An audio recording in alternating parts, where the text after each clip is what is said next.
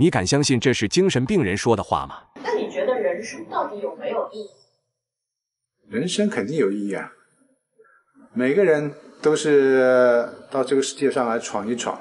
马云他们都成功了，那有些人不成功，但是也经受了一个非常独特的体验，一辈子难忘的体验。这思维清晰的回话。似乎颠覆了人们对精神病人的认知。这是上海市的一家精神病院，在里面接受治疗的患者早上有固定的起床时间，而后先是做早操，让大家打起精气神，再是做一些常规检查，接下来就是一日三餐，会有专门的护士给他们安排要吃的食物以及药剂。午觉过后，这些患者可以上音乐课、绘画课，晚上则是自由活动时间。很多患者汇聚在一起看电视，这样看下来，许多人会觉得这些精神病人跟正常人没什么两样。生活作息还比一般人健康许多，简直是理想中的养老生活。但是深入探究就会发现，表面祥和的背